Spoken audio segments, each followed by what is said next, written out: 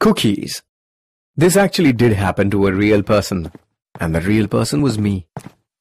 I had gone to catch a train. This was April 1976 in Cambridge, UK. I was a bit early for the train. I'd gotten the time of the train wrong. I went to get myself a newspaper to do the crossword, and a cup of coffee and a packet of cookies. I went and sat at a table. I want you to picture the scene. It's very important that you get this very clear in your mind. Here's the table, newspaper, cup of coffee, and packet of cookies. There's a guy sitting opposite me, perfectly ordinary looking guy, wearing a business suit, carrying a briefcase. It didn't look like he was going to do anything weird. What he did was this. He suddenly leaned across, picked up the packet of cookies, tore it open, took one out, and ate it. Now this, I have to say, is the sort of thing the British are very bad at dealing with. There's nothing in our background, upbringing, or education that teaches you how to deal with someone who in broad daylight has just stolen your cookies. But in the end, I did what any red-blooded Englishman would do. I ignored it. And I stared at the newspaper, took a sip of coffee, tried to do a clue in the newspaper, couldn't do anything and thought, what am I going to do?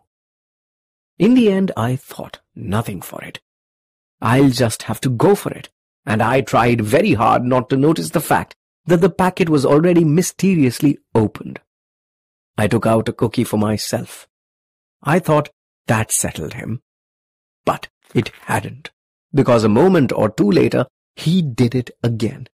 He took another cookie Having not mentioned it the first time, it was somehow even harder to raise the subject the second time round.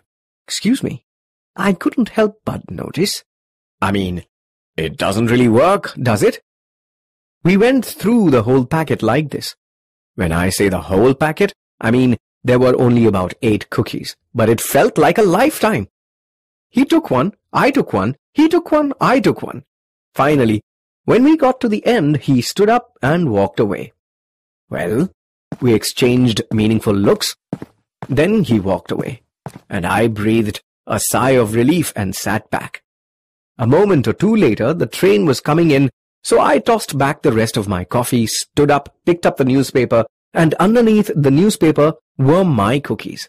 The thing I like particularly about this story is the sensation that somewhere in England there has been wandering around for the last quarter century a perfectly ordinary guy who's had the same exact story.